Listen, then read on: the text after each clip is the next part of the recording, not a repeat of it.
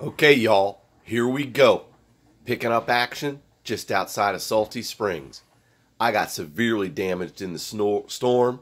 I was fortunate enough to run up on this huge, elaborate hidey hut, get me a little hidey hole here, and bandage up.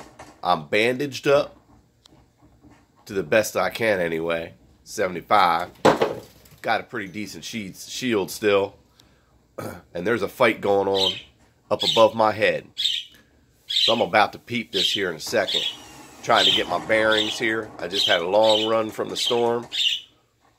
So where we is here, where we is. Okay, here we go. See that big old elaborate hidey hut. It just keeps getting bigger and bigger.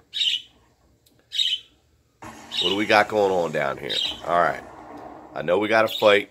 Let's duck over here in this bush and give it a peep. Alright, we got the little red, white, and blue panda over there.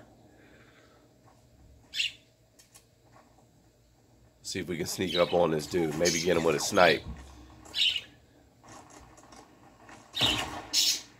Terrible miss. Terrible miss. Switch up to guns. Switch up to guns. Here we go. Get ready. Yard sale. That's one. All right, y'all. We're going to be back in a minute with one or maybe two more. I hope you enjoyed that short Fortnite Elim clip. This is part one of three.